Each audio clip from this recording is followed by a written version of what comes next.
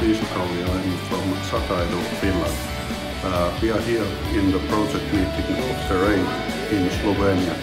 Uh, I think this uh, project is in many sense extremely important, not only for the students on, in Finland or in Slovenia, but if we are succeed what is our, our goals in this project, we will also make a change in a, in a European level and uh, if we are very good we can make even successions for the next years how to build up a European uh, uh, policy and make a recommendation that will also help not only these two partner countries but um, in a wider perspective also.